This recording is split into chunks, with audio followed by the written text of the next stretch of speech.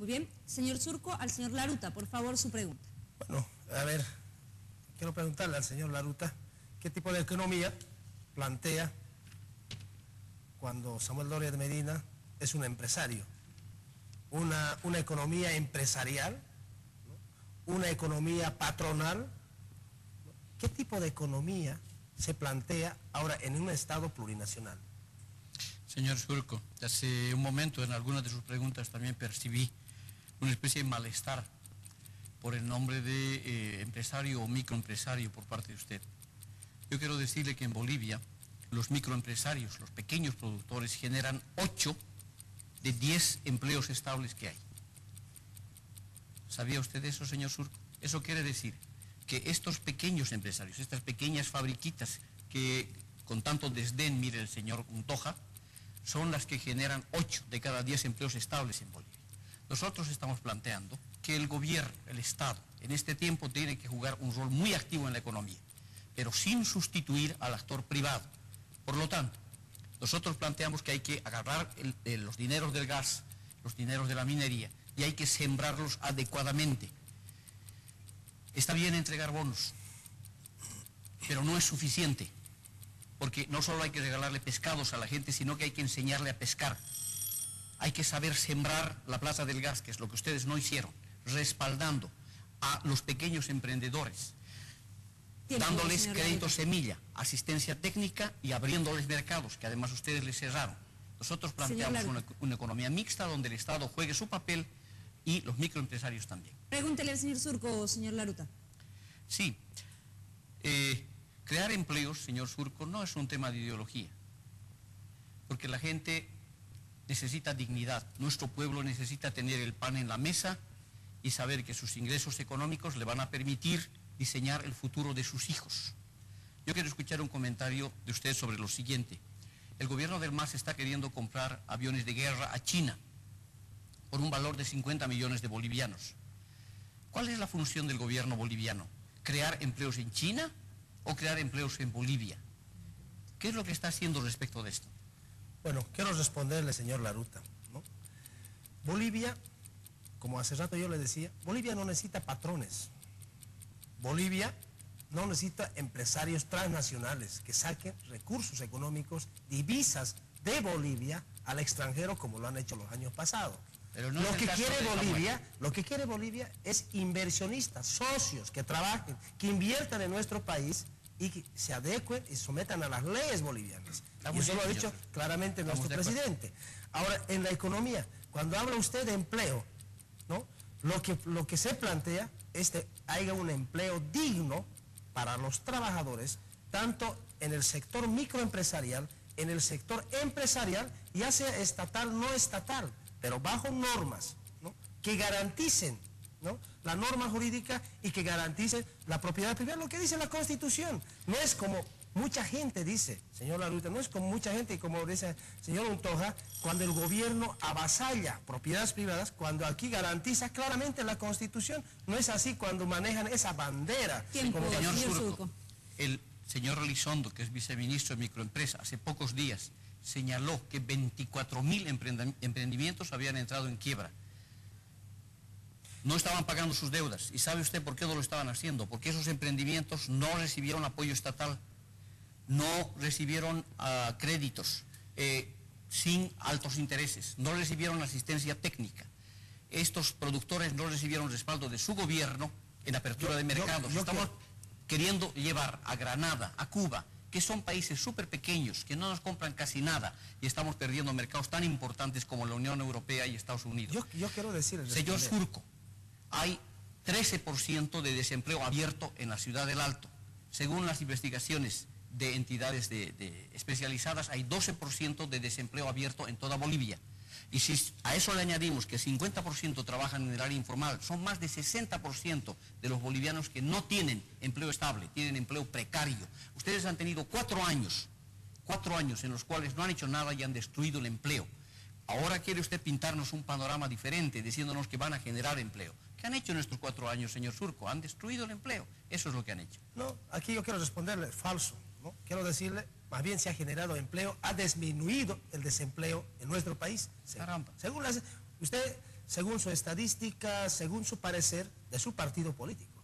Pero acá, claro, demuestra claramente cómo se crea y cómo mejorar al lado microempresarial, inclusive apoyando a algunos empresarios que está, que está trabajando directamente con el, con, con el gobierno de Evo Morales y al pequeño productor. Ahora, ¿cómo planteamos en nuestra economía, en nuestra economía, cómo salir de esta situación de la, de, la pobreza que siempre nos han dejado esa eh, encauce en nuestro país? Queremos un país con industrialización.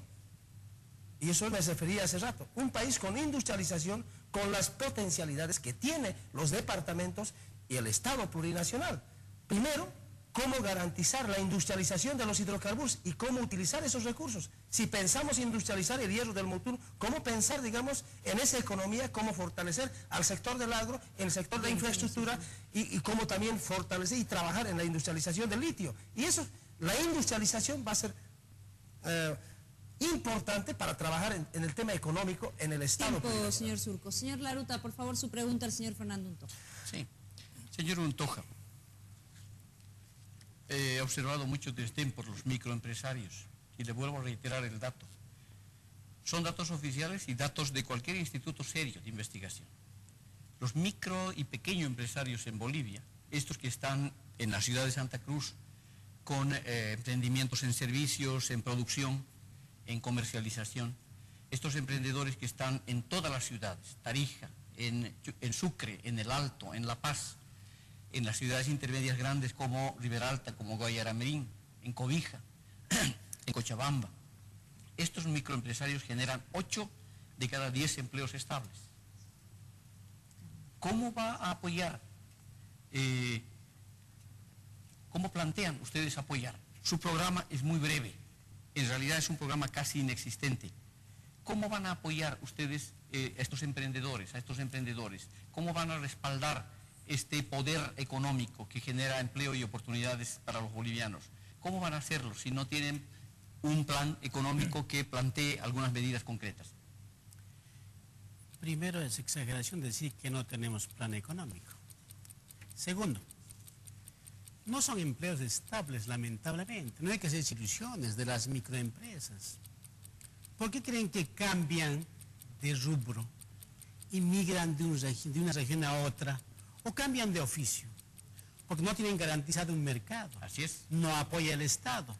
No creo que el, apoye, el, el Estado apoye dándoles dinero, sino es problema de mercado. ¿Dónde van a llevar lo que producen? ¿Y los microempresarios qué hacen? Para que sus cosas se vendan, incluso cambian de marca. Y así pueden vender a los bolivianos. ¿Qué necesita todo ese sector productivo? Necesita fundamentalmente créditos, es importante, pero sobre todo que el Estado, a través del Servicio Internacional de Relaciones Internacionales, pueda buscar mercado en el mundo para que tengan ventajas competitivas. Si no, es simplemente mantenerlos en pura ilusión. Tiempo, Eh, señor. Estoy viendo, perdóneme, que en realidad ha repetido nuestro programa. Yo lo felicito porque eso significa que han leído el programa de Unidad Nacional. Esperamos dentro de Unidad está, Nacional, aquí- señor aquí Montoja, está, para señor respaldar a los está. microempresarios, a los emprendedores está. bolivianos. Aquí está, no hay nada que copie. Vamos a las conclusiones, por favor. Les pido esos 30 segundos nada más. Conclusión de todo lo que se ha hablado acá.